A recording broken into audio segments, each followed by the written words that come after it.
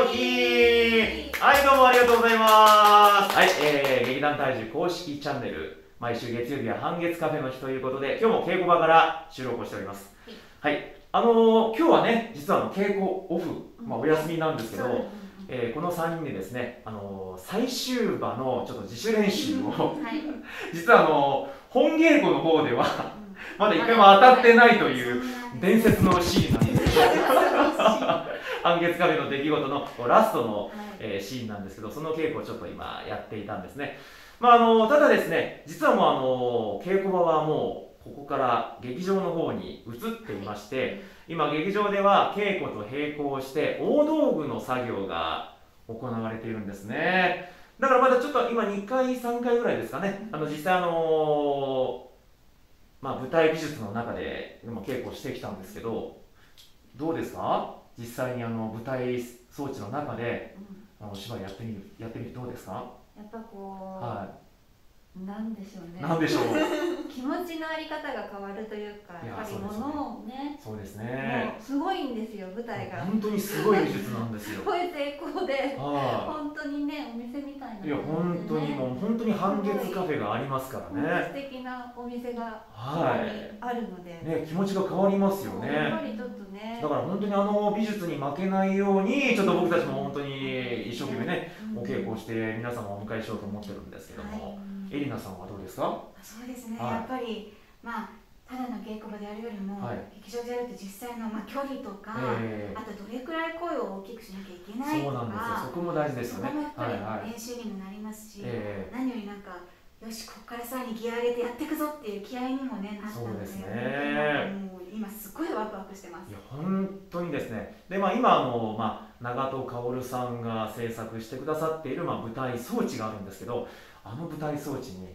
ね本番前になると草月流華道家の横井公園さんの花美術が入るんです。でこれがまたすごいもうびっくりすると思いますカフェのお庭にその以前の森影アパートメントの時からある木があるんですけどそれをまあこうあの草月流の横井公園さんが、まあ、まさに劇場で生けてくれるわけなんですけど、まあ、今回この物語の中でもそのお花のお話がね、まあ、お花その木のお話がちょっとあの何シーンが出てくるんですけど、まあ、そこがちょっとこう前作とのこう思いのつながりというかね、まあ、今このやってたその最終話にもねちょっとそんなお話が出てくるんですけどもちょっとこう前作に出た僕はですねちょっとジーンとしちゃうというかね あそうだったんだっていうねそう前作では描かれてなかったことがこの半月カフェの出来事では描かれてたりするわけなんですよね。答え合わせができま、ね、答え合わせそうですね。まああのこれからですねあのどんどん舞台装置も、まあ、本番に向けて今の色塗り作業とかしてるんですけれどももう本当にこの半月カフェの出来事の世界をですね今劇場にまさに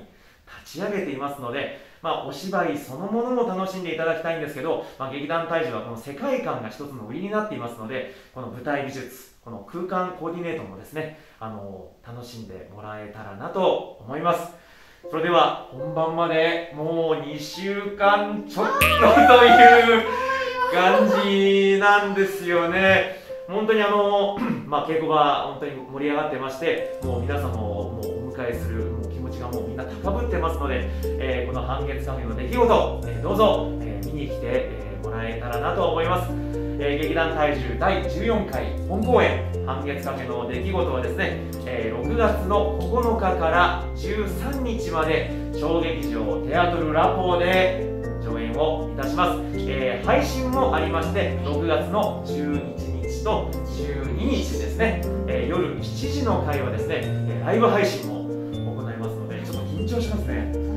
生放送ですよ。生放送とちろうが何をしようがもう困りませんからね、もうショーマストゴーンでいきたいと思いますので。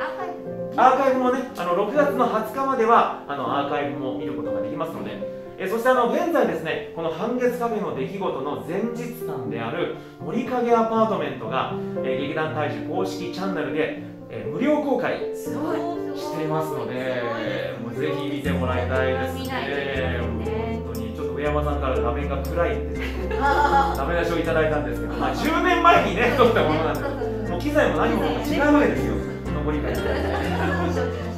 ぜひそちらの方森影アパートメントもご覧いただけたらと思います、えー、それでは、えー、皆さんと劇場でお会いできることを楽しみにしております、えー、どうぞよろしくお願いいたします。劇場でお会いしましょう。ごきげんよう